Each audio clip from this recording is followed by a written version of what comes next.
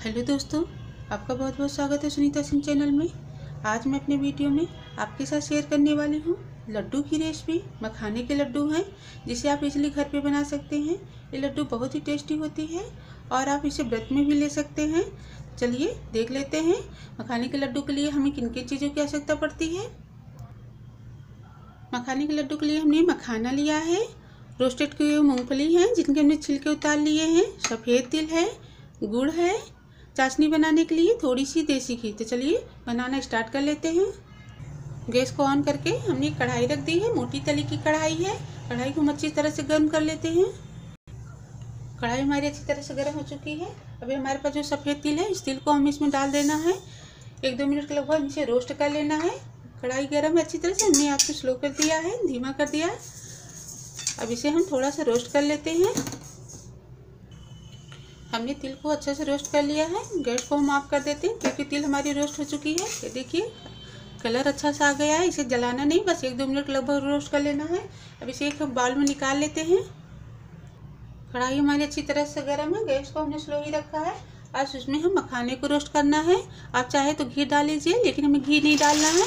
हम इसी तरह इसको रोस्ट कर लेते हैं। इसमें थोड़ा सा क्रंचीपन लाना है। मीडियम आँच कर देते हैं।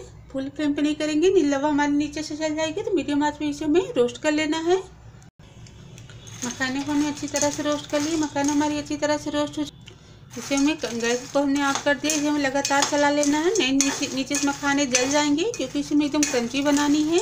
मखाने के लड्डू हैं तो इसे अच्छी तरह से हमें रोस्ट कर लेना है। इस तरह से हम लगातार चलाएँ गैस ऑफ़ है, तब भी हम इसे दो मिनट लगभग लगातार चलाएँगे। मखाने को हमने अच्छी तरह से रोस्ट करके प्लेट में निकाल लिया है। इसका हमें थोड़ा सा मोटा पाउडर बनाना है पेस्ट बनाना है। दरदरा एकदम पाउडर नहीं, दरदरा करना है। ये देखिए कितना एकदम क्रिस्पीपन हो गई है। ये देखिए फूट नहीं रही है। हमें इसी तरह का चाहिए मखाना रोस्ट करके। चलिए, पहले सबसे पहले हम जो हमारे पास मूंगफली है, इसको हम मिक्सर जार में मोटा दरदरा पीस लेते हैं। हमने मूंगफली को मिक्सर जार में मोटा दरदरा पीस लिया पाउडर नहीं बना है, इस चीज़ का ख्याल रखिए। मखाने के लड्डू में हमें कोई भी चीज़ पाउडर नहीं चाहिए, मूंगफली भी दरदरा चाहिए, मखाने भी दरदरे चाहिए। चलिए नेक्स्ट प्रोसेस कर लेते हैं लड्डू बनाने की। हमने एक साफ़ सुथरी टावल ले ली, क्योंकि इस नेक्स्ट प्रोसेस में इसे टावल से ही करनी है। और जो रोस्ट हुए हुए मखाने हैं, इसमें हम धीरे धीरे सब सारे मखाने इसमें डाल देते हैं ट्रांसफ़र कर देते हैं।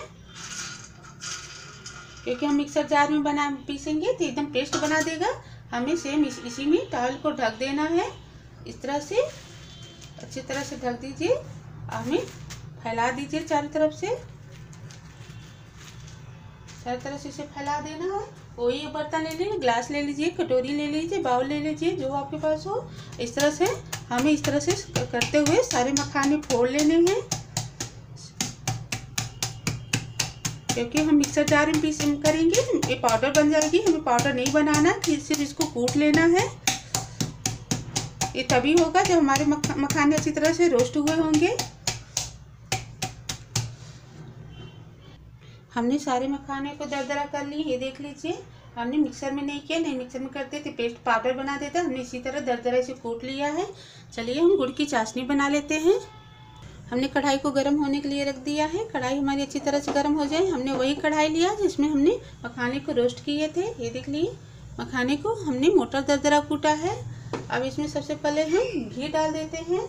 घी हमारी थोड़ी सी मेल्ट होती रहे। अब इसमें हम गुड़ डाल देते हैं। पानी बिल्कुल नहीं डालना है। क्योंकि हम एक ताक की चाशनी बना रहे, पानी नहीं डाली, थोड़ी सी आप देसी घी डाल दीजिए। देसी घी है, गैस को हम स्लो कर देते, क्योंकि गुड़ को हमें थोड़ा सा प्रेस करते हुए दबा देना है, मिला देना है। गुड़ हमारी थोड़ी सी मिल्ट हो जाए। गुड़ हमारी अच्छी तरह से मिल्ट हो चुकी है, मिल चुकी है।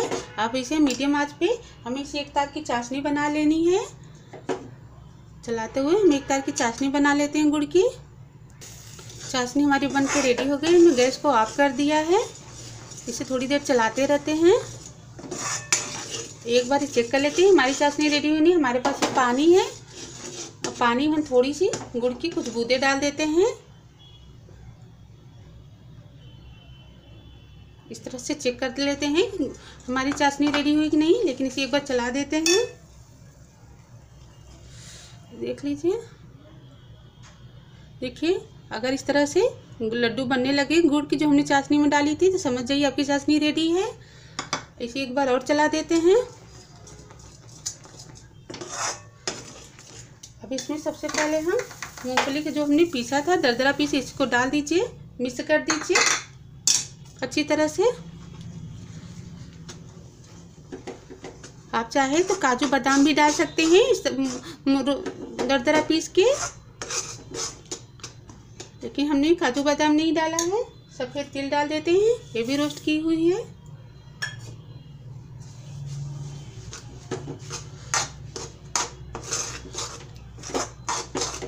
अब इसमें हम मखाने डाल देते हैं। मिक्स कर दीजिए।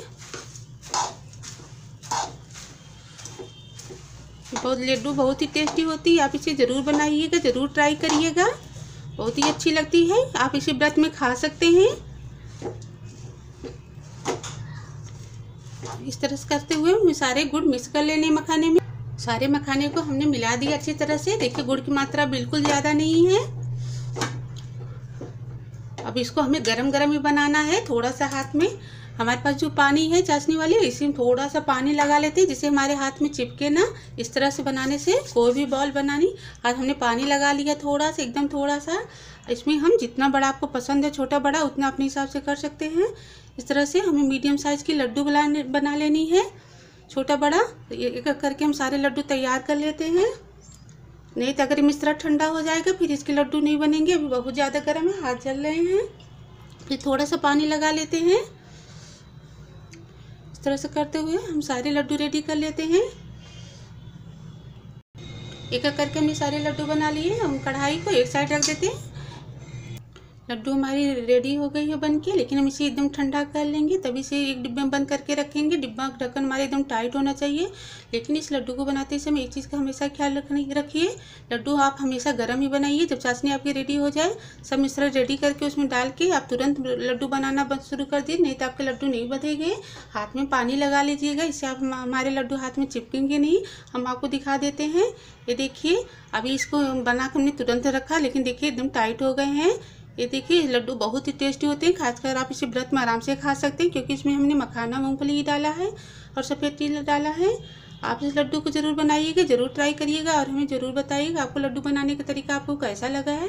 अगर आपको अच्छी लगी हमारे लड्डू बनाने का तरीका तो प्लीज़ इसे ज़्यादा से ज़्यादा लोगों से शेयर करिएगा लाइक वाले बटन को ज़रूर क्लिक करिएगा। आप अगर आप फ़र्स्ट बार मेरे वीडियो को देख रहे हैं तो मेरे चैनल को ज़रूर सब्सक्राइब करिएगा। आते रहेंगे हम ऐसी नई वीडियो लेकर। मिलते एक नेक्स्ट वीडियो में, तब तक के लिए बाय बाय